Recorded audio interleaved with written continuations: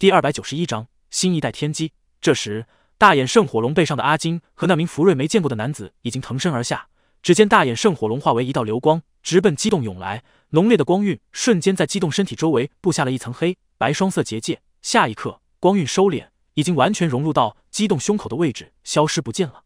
这半年的时间，大眼圣火龙已经完成了进化，但十月凤凰火却依旧在朱雀手镯中沉睡着。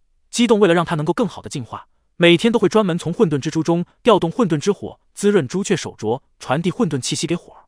从本质上来看，火儿和茅台、五粮液他们一样，在孵化前身体都受到了极大的损伤。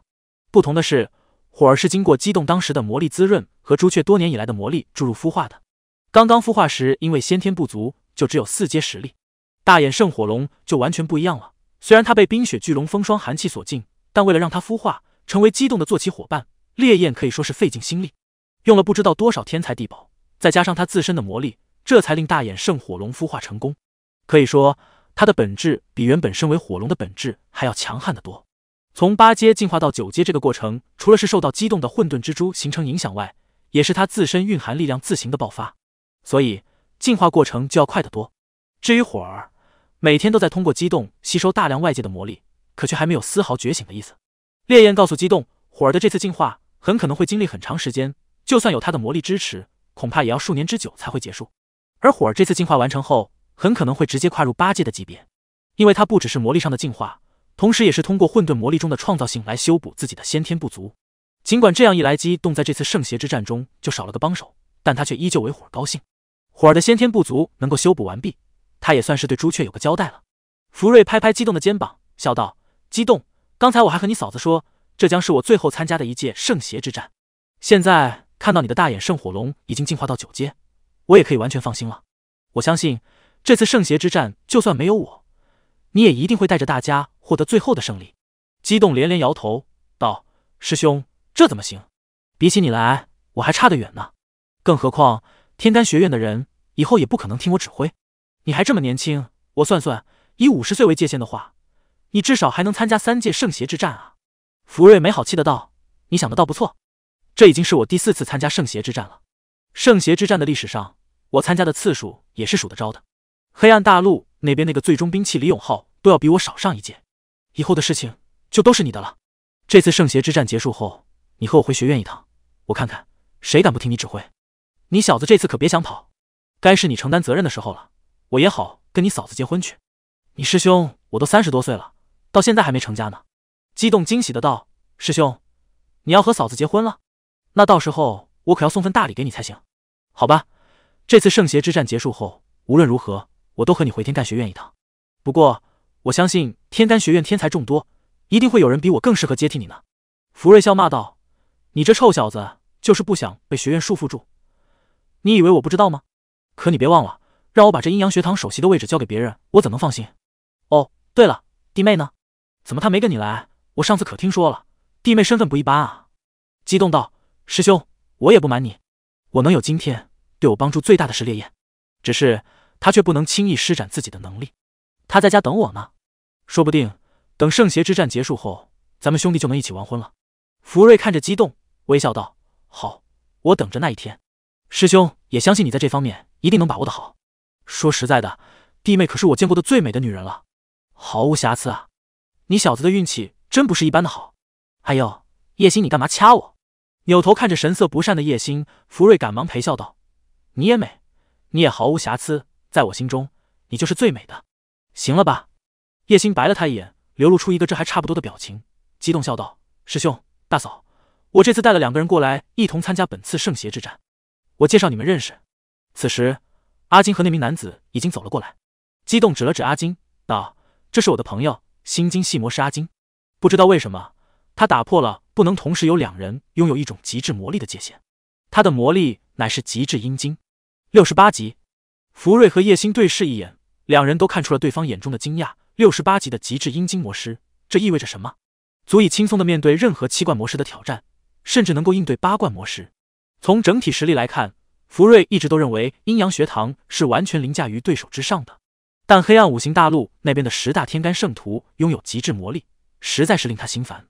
而自己这边上次出现的那些天干圣徒更是令人不敢恭维，不捣乱就不错了。激动突然带来一名六十八级的极致魔师，他们又怎能不高兴呢？小师弟，你带给我的惊喜真是如惊涛拍岸，源源不绝啊！阿金小姐，你好。阿金没有开口，只是向福瑞和叶星点了下头。身穿铠甲的他更令人感到难以接近。至于在这份冰冷之后隐藏的是什么，就只有他自己才知道了。那这位兄弟呢？福瑞的目光转向来到激动身边的那名男子身上。这是一名看上去和激动年纪差不多的青年，似乎比激动还要略大一些。和阿金身上的冰冷不同，这个人始终面带微笑，有一种飘然若仙的奇异气质。看着他，福瑞惊讶的发现自己竟然根本看不透这个人，看不出他有多强的魔力，也看不出这个人的实力达到了怎样的程度，甚至看不清他的容貌。感觉上，这个人全身上下似乎都笼罩在一层神秘的迷雾之中似的。激动道：“师兄，你听说过天机吧？这位。”就是新一代的天机，在他继承了天机之位后，他的名字也改成了天机。在这之前，他叫做云天机。我们在七年前就认识了。不久前，我前往天机城见到了他，也见到了弥留时的老天机。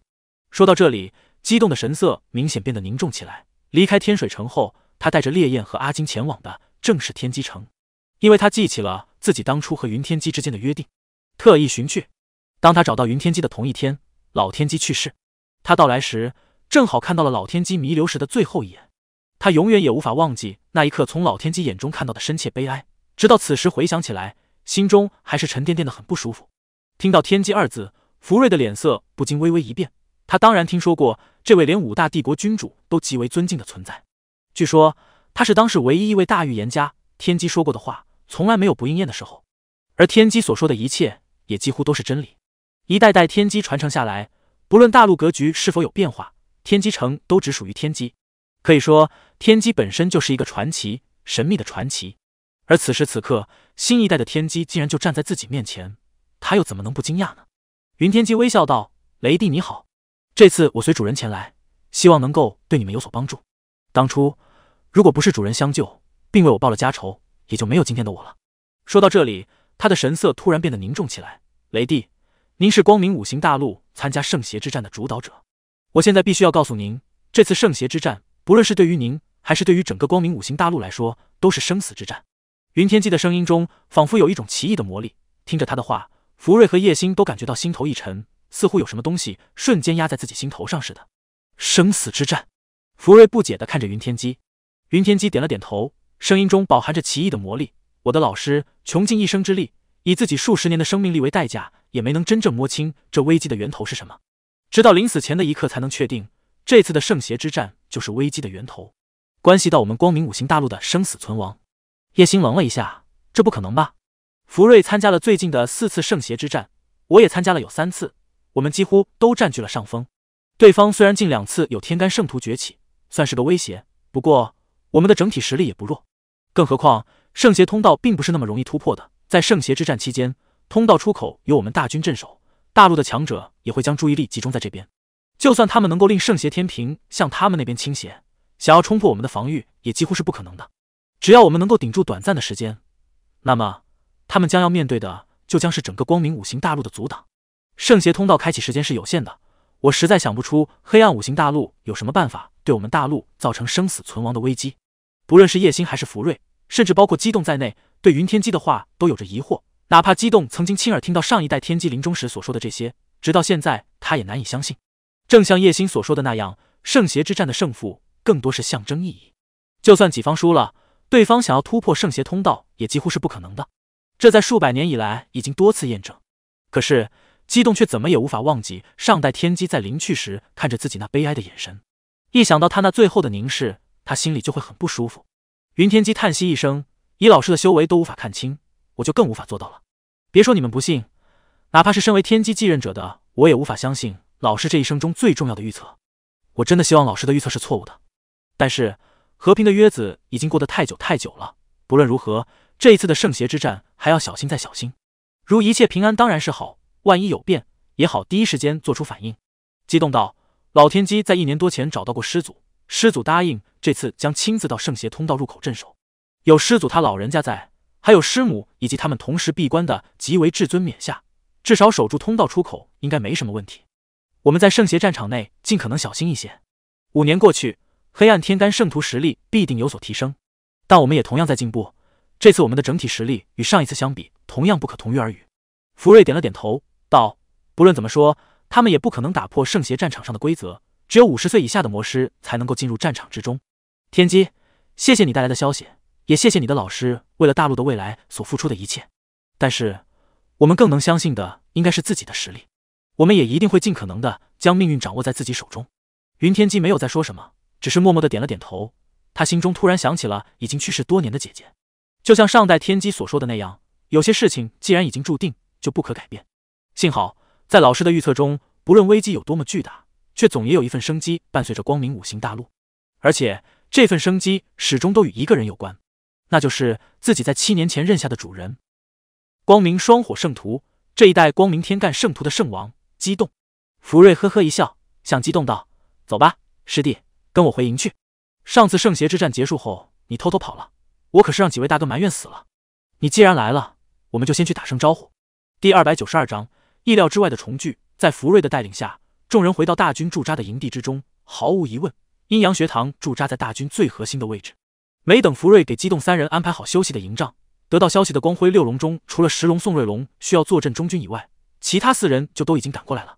对于激动，其实这四龙倒不是有多么深刻的印象。但上次圣邪之战结束后，福瑞就说过，激动必将是他的接班人。而且上一战激动所做的一切，他们也都有耳闻，自然对福瑞的这个小师弟就重视起来。双方寒暄过后，激动将天机的叮嘱第二次说了出来，四龙也都表示会尽量谨慎。但激动却从他们的眼神中能够看出其中的不以为然，心中不禁暗暗苦笑。坦白说，天机这虚无缥缈的预测，他自己也同样无法相信啊，更别说说服别人了。幸好。以师祖为首的那六位至尊强者肯定会在这次圣邪通道开启后赶来的，有他们作为后盾，激动心中确实没有太多的担忧。圣邪之战即将开始，四龙要忙的事情还有很多，做出了晚宴的邀请后，就纷纷离去了。云天机默默地坐在角落中，闭合着双眼，不知在想些什么。阿金依旧是一身冰冷的样子。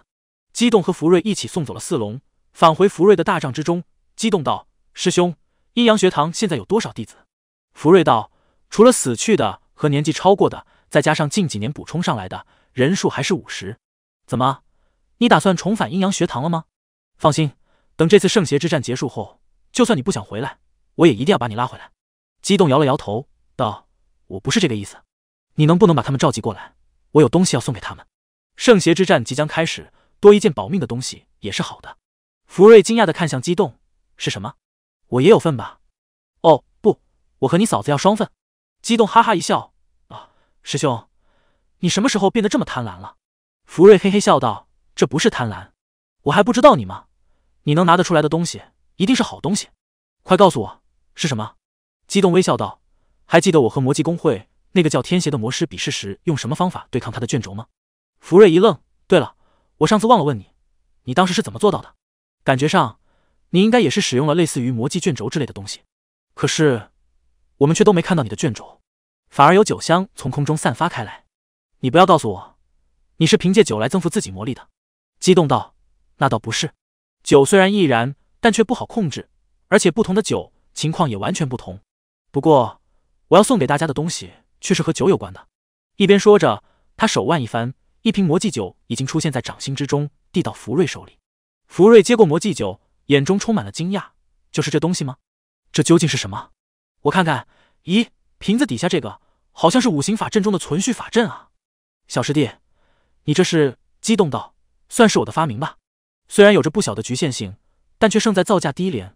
我叫它魔祭酒，从某种意义上来说，它完全可以和魔祭卷轴媲美。可惜能够制作的就只有我。师兄，你也会五行法阵，回头我把原理告诉你，你也可以尝试一下。福瑞瞪大了眼睛，你是说这东西可以当魔祭卷轴来用？天哪！小师弟，你这瓶子里的液体是什么？激动呵呵一笑，道：“自然是酒啊，有的是白兰地，有的是威士忌。这样好了，你把大家聚集起来，我送给他们每人一个，也向你们一起演示一下它的使用方法。这东西用来战斗的话，数量暂时还不够，但在关键时刻，只要使用的好，就有可能保住性命。”福瑞毫不客气的将手中的魔祭酒收了起来。小师弟，你真是个怪物！我现在开始越来越相信天机说的话了。师祖说，那位老天机告诉他，你将是拯救大陆的一代圣王，光明天干圣徒的掌控者、指引者。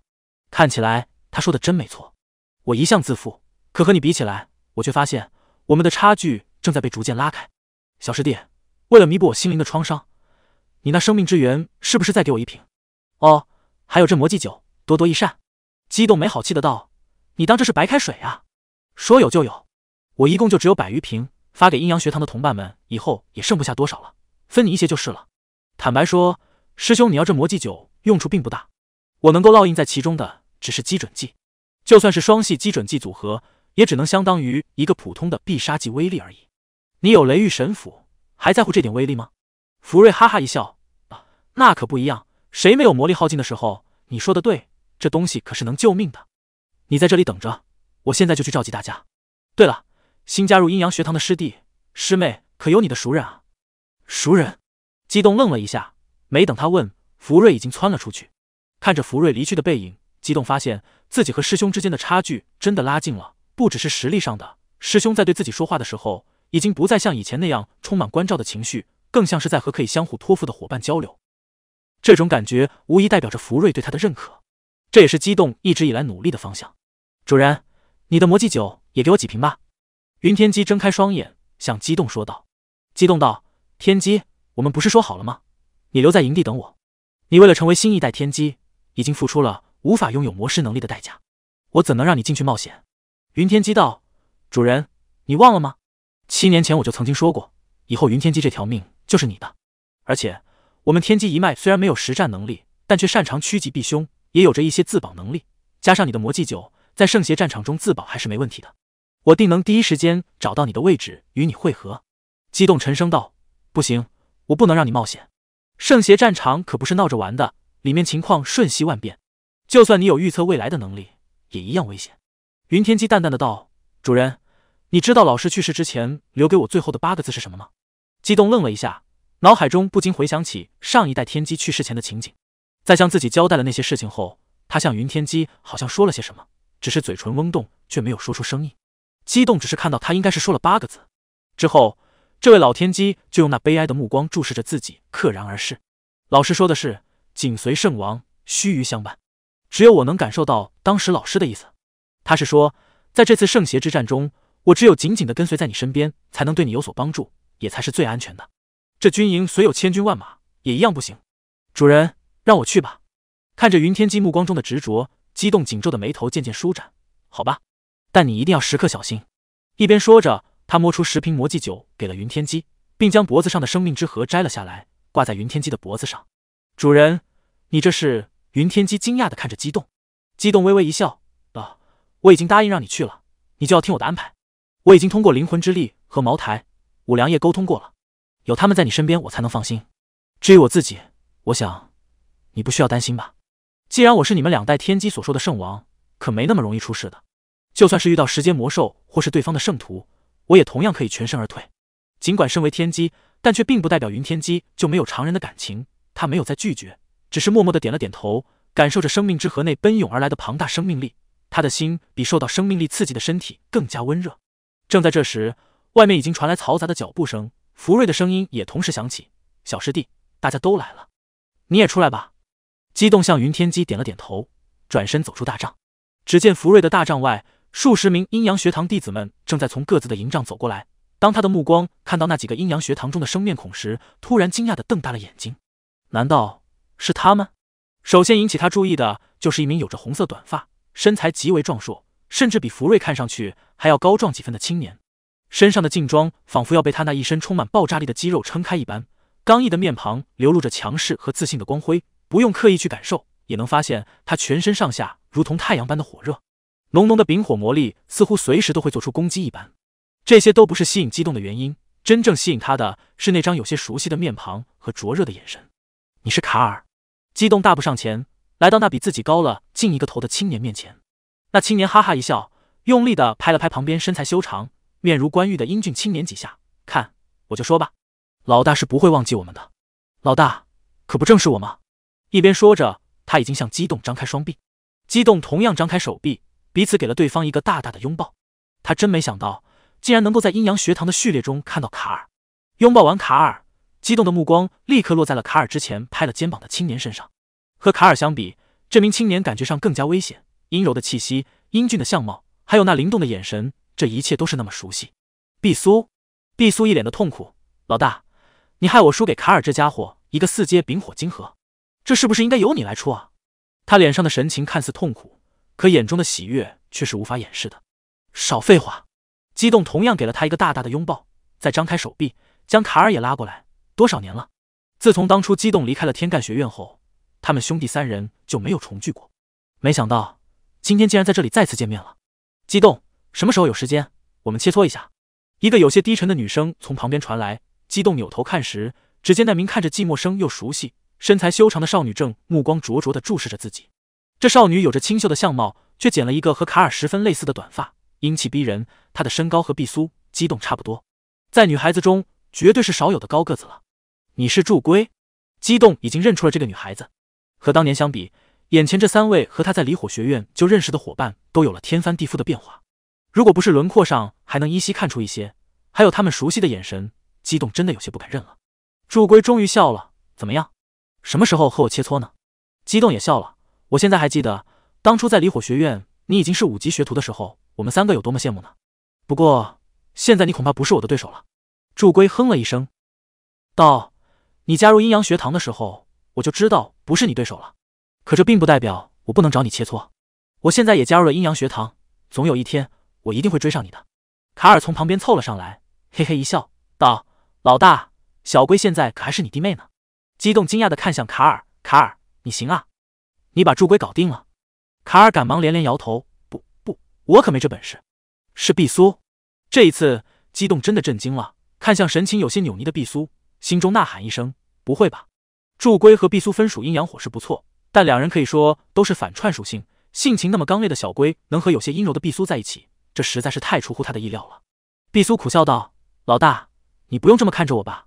第二百九十三章神火圣王凯小龟其实也有温柔的一面，只是你们没看到过而已。毕苏有些脸红的解释道。旁边的卡尔喃喃的道：“永远都不看到才好。也不知道是谁，前几天还让人家追着打。哎，男人做到这个地步也真是一种悲哀。你找死吗？”祝龟和毕苏几乎是异口同声的说道。看着他们的样子，激动不禁苦笑道：“你们谁能告诉我这究竟是怎么回事？”卡尔兴致勃勃的闪到激动背后，我来，我来，老大，你可不知道毕苏运气有多好啊！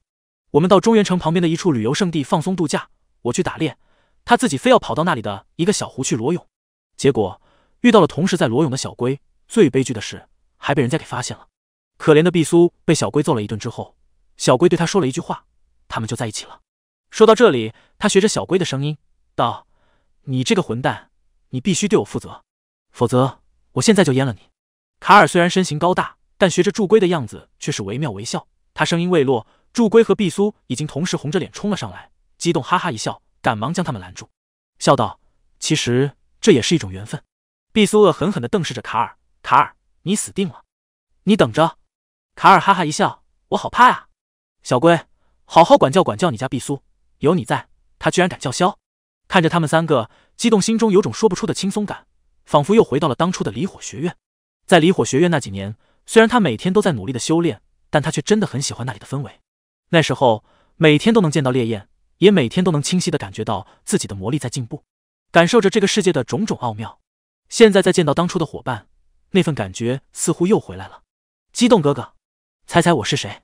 正在这时，一名看上去十六七岁的少女突然跳了出来，来到激动面前。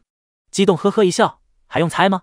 除了我的冷月妹妹，还有谁能这么可爱呢？没错，这突然跳出来的少女，正是当初和激动一起加入阴阳学堂的鬼水系天才少女冷月。当初的小女孩，现在已经出落成了大姑娘。虽然她没有蓝宝那么美，但那天真活泼的样子却和当年没什么变化。一双大眼睛更是透露着古灵精怪，极为可爱。不满的撅了撅嘴，真没劲。激动哥哥，你怎么一下就认出来了呢？此时，阴阳学堂的弟子们已经都走了出来。福瑞向激动招了招手，激动向卡尔三人以及冷月示意后走了过去。这些阴阳学堂的弟子们大都认识激动，自然也深刻的记得五年前那约月阴阳界带给他们的强烈震撼。在魔师的世界中，实力是一切的源泉。激动凭借自身强横的实力，早已征服了他们的心。一双妙目就隐藏在这人群之中，怔怔的看着他，眼眸中不知不觉间已经多了一层雾气。宝儿，少女的肩膀被搂住了。叶星不知道什么时候已经来到了她身边，还忘不了她吗？你真傻，就像我当初一样。你那么喜欢他，为什么不主动去争取呢？蓝宝儿用力摇了摇头，眼中流露出一丝凄然。没用的，他心中不可能有我的空间。叶星师姐，我先回去了。说着，他已转身回营帐而去。各位，我让师兄请各位来，是有件东西要送给大家。我将它取名为魔祭酒。大家都是熟人，也没什么好客气的。激动开门见山的将自己制作的魔祭酒以及使用方法简单的说了一遍。看着众人眼中不可思议的样子，激动取出一瓶有着最基本技能烈阳式的魔祭酒，右手一挥，酒瓶飞出，一道光芒从他手中闪过，砰的一声，酒瓶破碎，刺目的金光瞬间展现，与激动一模一样的身影就在这金光中爆发，浓烈的极致阳火魔力波动在空中尽情的迸发。每一位阴阳学堂的弟子都可以说是魔世界的天才，他们当然明白这一瓶魔祭酒能够带来怎样的作用。大家的眼神开始变得灼热起来，毫无疑问，在他们眼中，激动的地位已经又上升了一个台阶。福瑞站在一旁，暗暗点头。他越来越相信，当激动接替了自己在阴阳学堂首席的位置后，必定能够比自己做得更好。至于天机的预言，他从来就没有相信过，他只相信自己的实力。每一名阴阳学堂弟子的手中都拿到了一瓶魔祭酒。激动的精神力突破后，其实已经有能力来制作必杀技级别的魔祭酒了。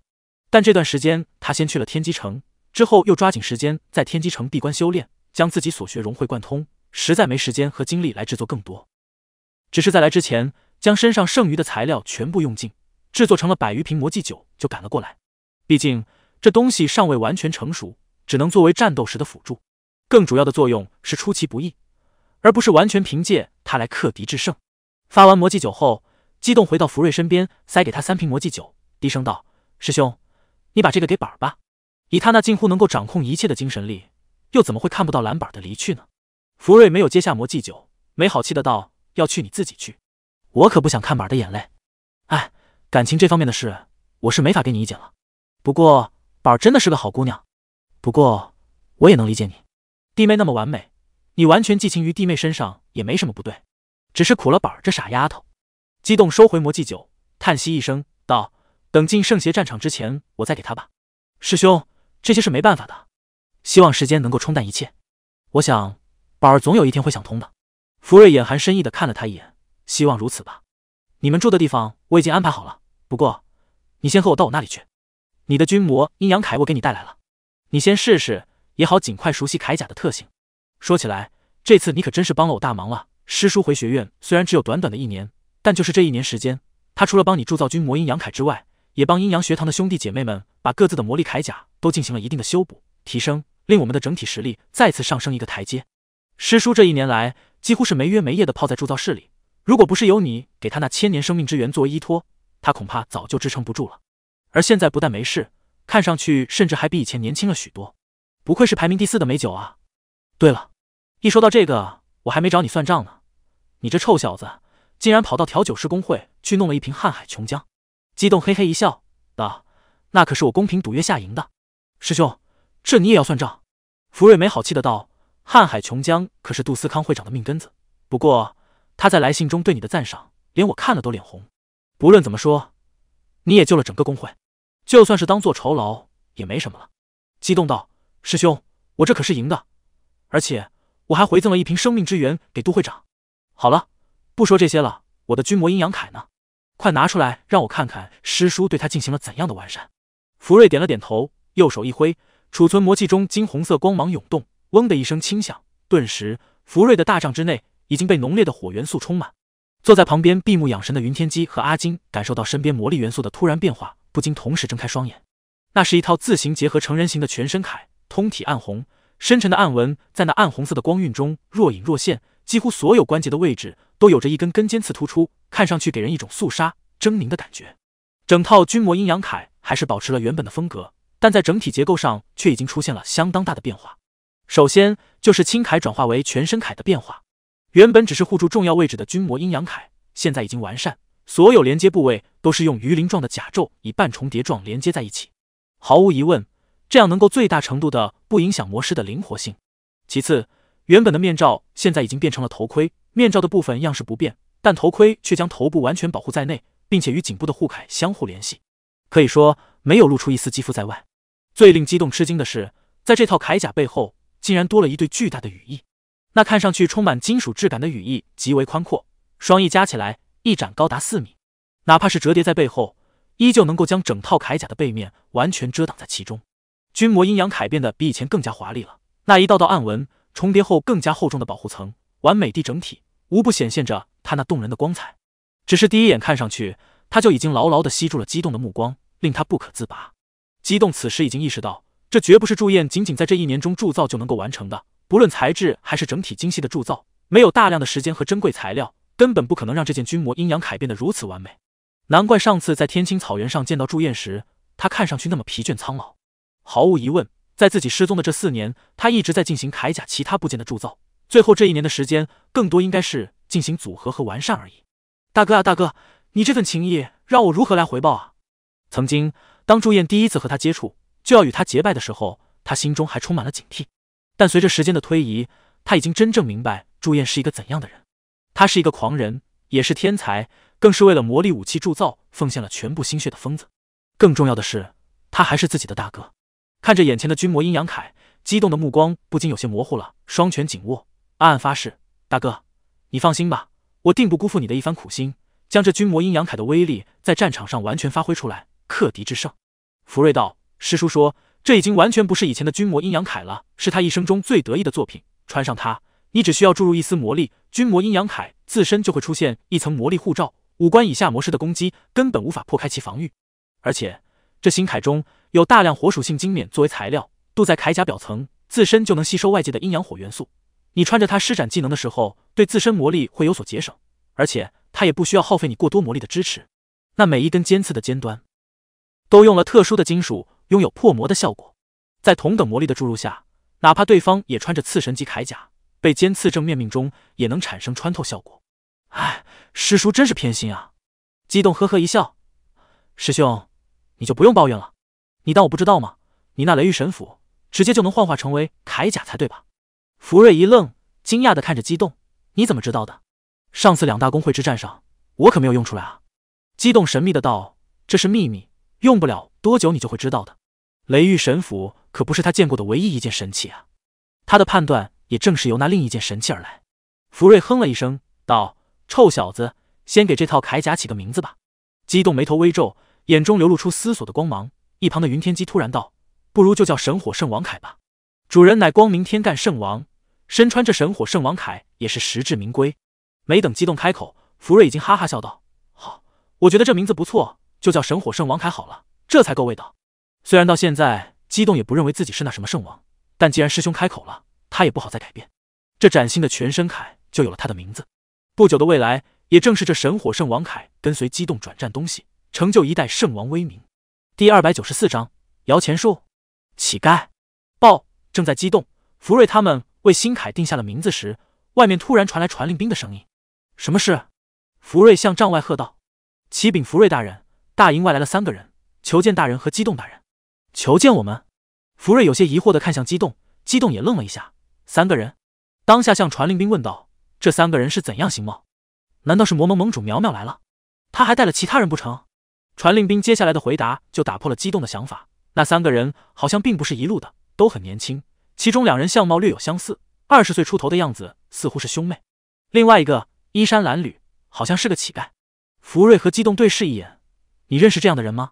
激动摇了摇头。能叫出大哥的名字并不奇怪，但能叫出我名字的，应该就是熟人了。我们去看看，还是带他们到这里来？福瑞道：“不过是三个人而已。”传令兵将那三个人带到这里来。是，传令兵下去执行福瑞的命令了。福瑞和激动对视一眼，两人都在想着会是什么人。突然间，激动脑海中灵光一闪：兄妹？难道是那对兄妹吗？自己当初已经明确拒绝过他们来这里啊！一边想着，激动走到神火圣王铠前，右手抬起。按在铠甲胸口位置，眼中白光一闪，强横的精神力已经瞬间融入铠甲之中。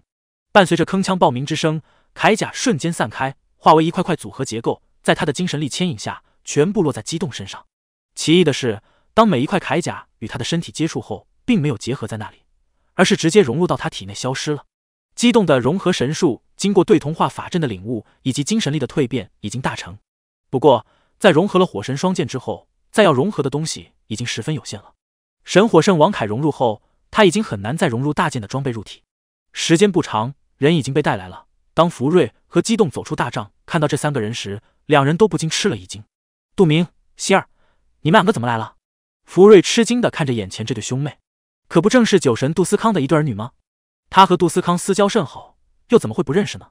杜明嘿嘿一笑，和妹妹对视一眼，恭敬的向福瑞道：“见过福瑞叔叔，见过老师，我们也是来参加圣邪之战的呀。”老师，福瑞疑惑的看向激动，激动道：“杜明在调酒方面和我理念相同。”我就答应收他为徒，教授他调酒的知识。杜明，我可是明确拒绝过你来参加圣邪之战的。更何况，你怎么还把希儿带来了？杜希儿抢着道：“准老师，是我一定要跟哥哥来的。最近这半年，我的进步可不小呢，魔力马上就要突破五十级了。我早就听说过，压力越大，对魔师的修炼就越有利。圣邪之战这么好玩的事情，我怎么能不来呢？你一定要让我们参加，好玩！”激动没好气的哼了一声。你们先站到一边，你们的事回头再说。这位朋友，我们似乎不认识吧？你来找我和师兄有什么事？激动挥挥手，让杜明兄妹先站到一旁，将目光落在那另外一人身上。这个人用衣衫褴褛来形容一点都不过分，不但身上衣服破烂，全身脏兮兮的，更是蓬头垢面，连相貌都看不清楚，比乞丐都有过之。但激动却分明能够从这个人身上感受到几分危险，这绝对不是普通人。福瑞也在奇怪，他也不记得自己认识这么个人啊。那乞丐苦笑一声：“福瑞大哥，激动，你们不认识我了吗？”他这一开口，激动和福瑞都惊呆了。激动吃惊的道：“你你是姚千书？你这堂堂天干甲木圣徒，怎么变成了这个样子？样子看不出来，但声音却假不了，可不正是姚千书吗？”姚千书几步上前，来到激动面前，突然放声大哭：“激动，你要救救我啊！我实在是受不了了，这五年我快被折磨死了。”激动赶忙用手扶住他：“你这是怎么搞的？”你当初可是有名的摇钱树，药医必死病，前度有缘人，你应该有不少的积蓄吧？怎么弄得跟乞丐似的？摇钱树哭声收些，我也不想这样啊，我这都是被逼的，被那头肥猪逼的呀。我身上能卖的东西都卖了，全都换了吃的，让那头猪吃了。我想和他解除契约都不行啊！我要是不让他吃饱了，他就不让我吃饭。这几年下来，我已经快被他折磨死了。激动道：“你是说那头菊花圣猪？”他竟然把你给吃垮了！姚千书痛苦的道：“可不就是吃垮了吗？他一顿就要吃上吨的食物，虽然不挑食，可是，一天三顿，天天如此，我就算是一座金山，也要被他吃光了呀！就连衣服、储存魔器都给他换了吃的。这五年，你不知道我有多惨。要不是还有一手医术能够赚点钱，他恐怕连我都给吃了。那菊花猪呢？”福瑞在一旁问道。姚千书苦笑道：“我也不知道他在哪里。”反正只要到吃饭的时候，他肯定就会出现的。福瑞老大，这次你可一定要收留我啊！你们让我干啥都行，只要让那头猪吃饱了，别再缠着我，以后我就是你们的人了。福瑞哈哈一笑，道：“别说的那么暧昧好不好？我可对你没兴趣。这样，我让人先带你去整理一下，换件衣服。你这叫什么样子？放心吧，这军营中粮食是不缺的，至少暂时不会有问题。”正在这时，云天机从大帐内走了出来。看到姚千书，他却没有半分意外，反而微微一笑，：“甲木圣徒，多约不见，恭喜你了。”姚千书愣了一下：“恭喜我？有什么可恭喜的？你就不要嘲笑我了。”云天机摇了摇头，道：“不是嘲笑，是真的恭喜。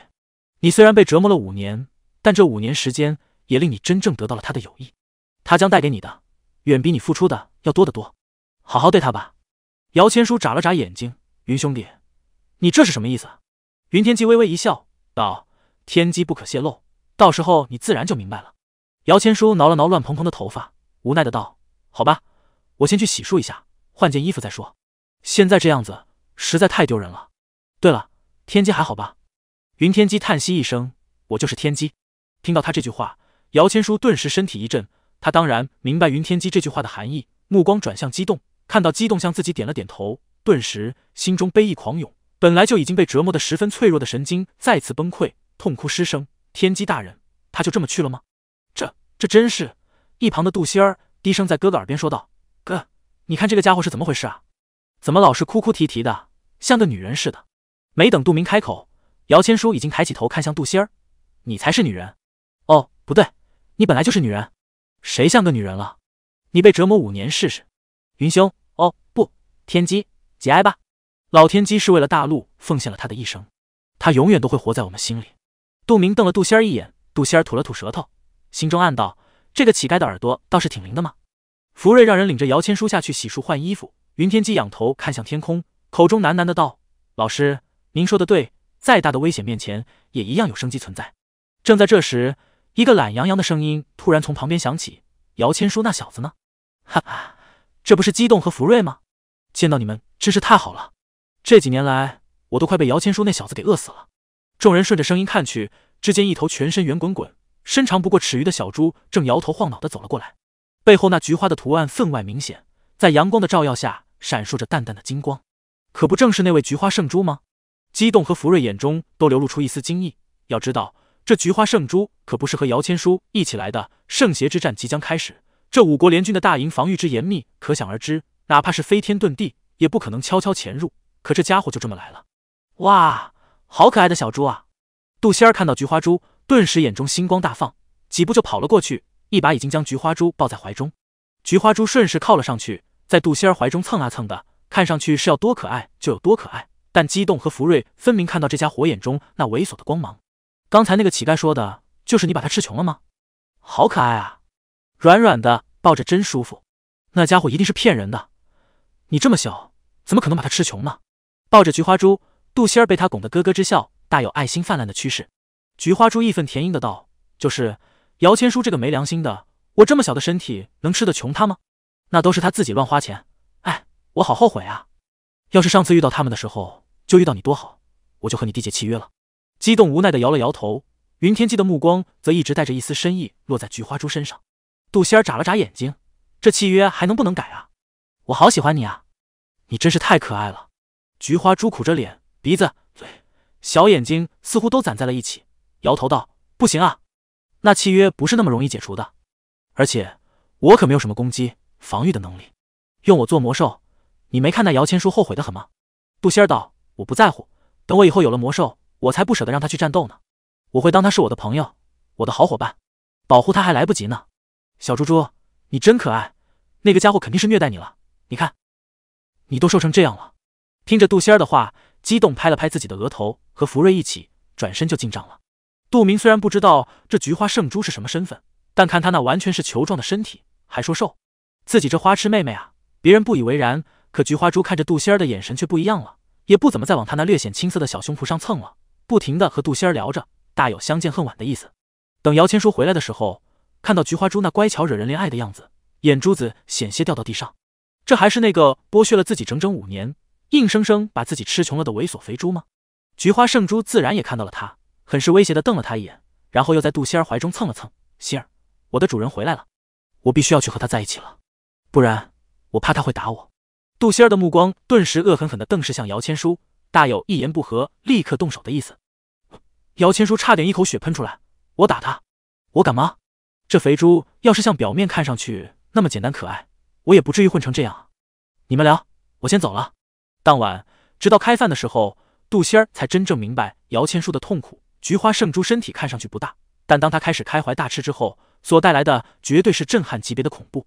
他一个人几乎吃掉了一百人份的晚餐，而且身体还没有任何变化。吃完了就躺在杜仙儿怀里，肚皮向上酣睡起来。姚千书的面庞在抽搐，回想起五年来自己所受到的折磨，他真想冲上去将这只肥猪掐死。但是他就算再爱钱。也绝不是一个恩将仇报的人。当初菊花圣珠毕竟救过他，他也一直希冀着菊花圣珠能够展现出他十阶神兽的实力。但是事与愿违，五年来除了吃，他从未见过这头猪有什么别的能力。他好像是能吃了一点。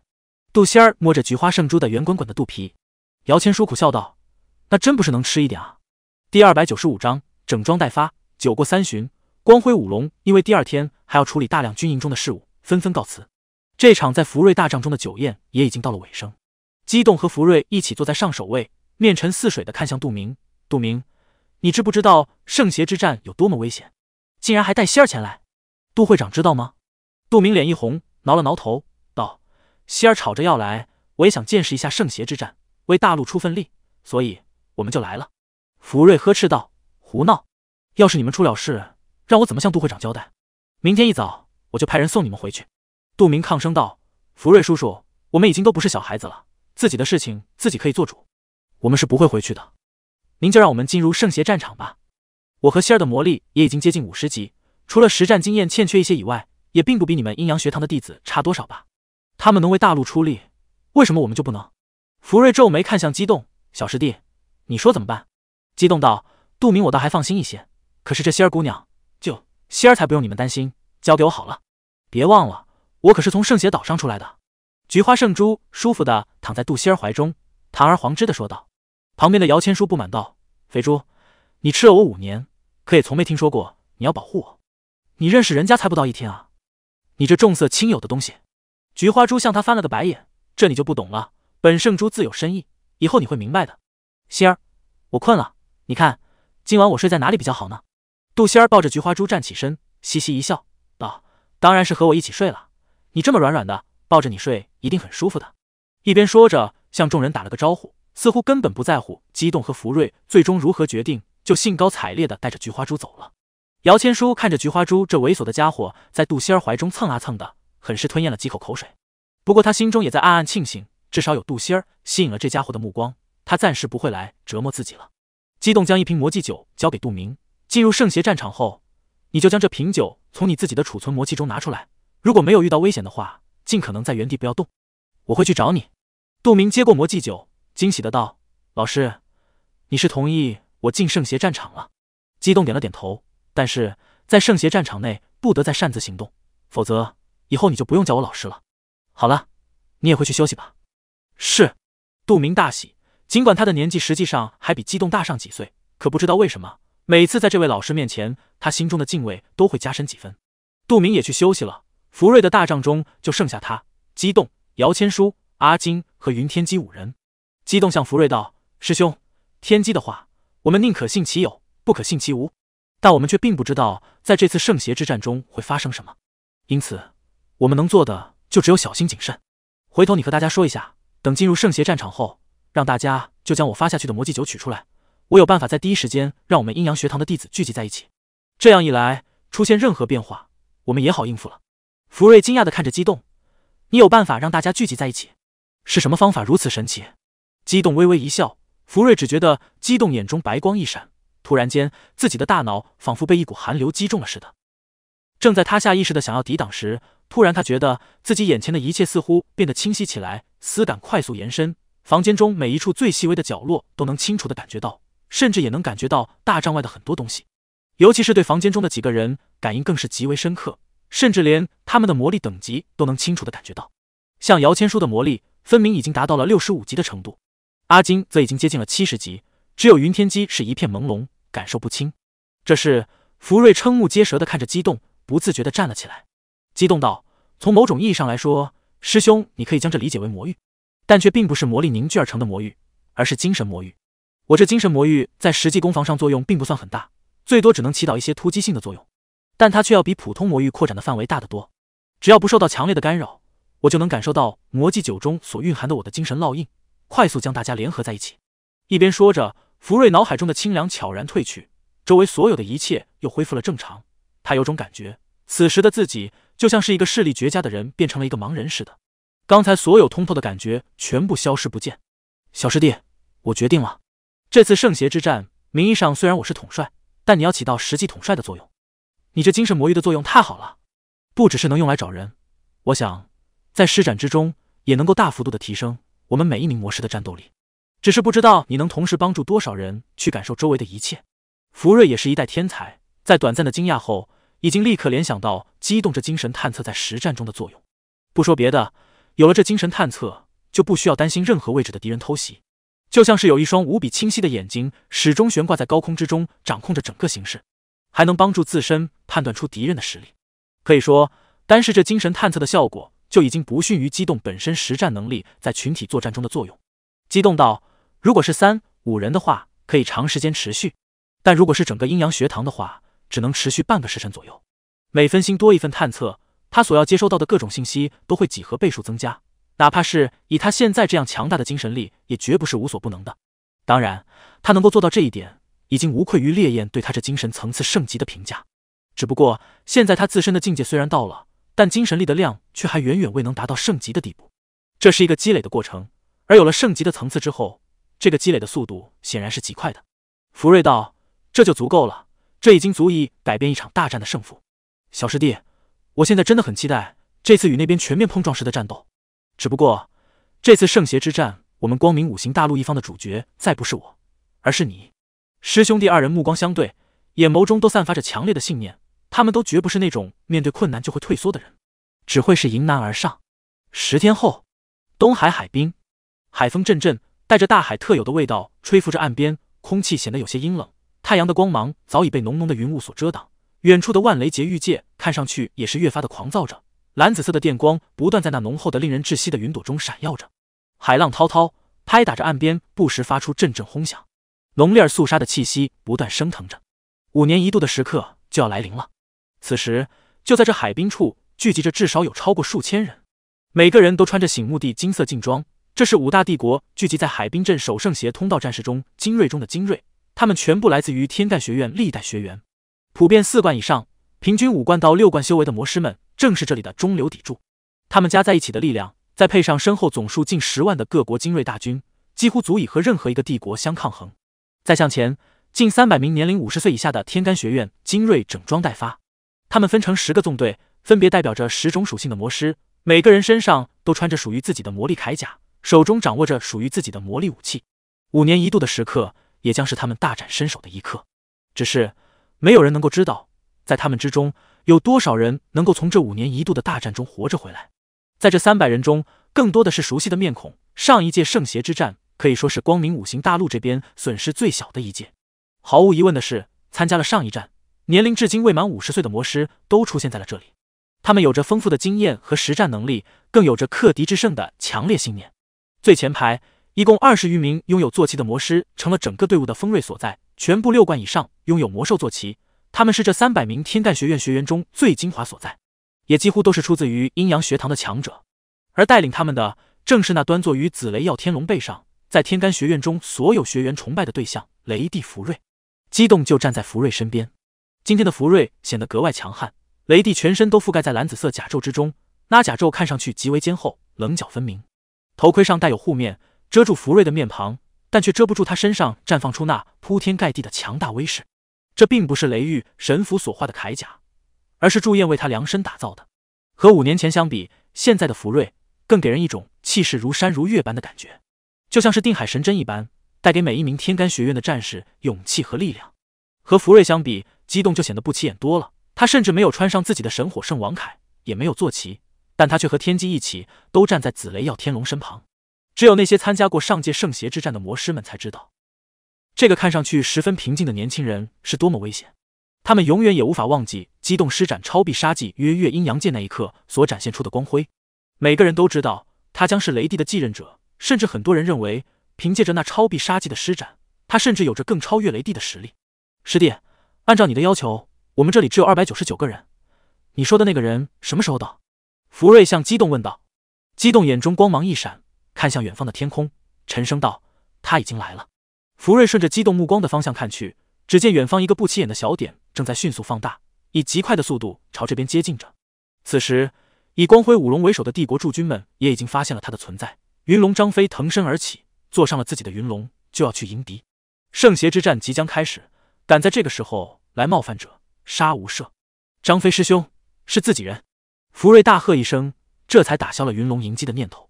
此时，那黑点已经快速放大，福瑞也终于能够看清他的样子了。那形如巨鹰的银色大鸟滑翔而下，直奔五国大军的方向而来。大鸟背上正站着那银衣飘飘、灰色水晶般长发飘逸的女子，这是银翼海冬青。福瑞惊讶的说道，激动道：“师兄，你认识这种魔兽？”福瑞点了点头，道：“这是一种魔兽，乃是龙族中最少见的极土系银龙与一种巨型海冬青结合后所生，极为罕见，在飞行类魔兽中也是霸主层次的存在。在龙族中，银龙的血统极为高贵。这银翼海冬青虽然是杂交一种，但也有着十阶的底蕴存在。小师弟，你找来的果真是一个强援啊！不用看魔师，单是这九阶级别的坐骑就已经能够影响到大战了。要知道。”上一次为了围攻那头双系九阶魔兽，几乎用尽了光明五行大陆这边所有力量，最后才成功击杀。当然，现在这群人的实力就完全不同了，不论是激动还是福瑞，都有单独击杀九阶魔兽的实力。银翼海冬青已经越来越近了，魔女淼淼的声音从空中传来：“激动，我来赴约。”在光辉舞龙的示意下，银翼海冬青没有受到任何阻挡，收敛双翼，缓缓落了下来，直接落在了激动和福瑞面前。和上次见面时相比，现在的淼淼看上去似乎更靓丽了几分，主要是因为她看上去更有生气了，俏脸不再那么苍白，而是带着几分淡淡的红润，连神色也从以往的冰冷变得柔和了许多。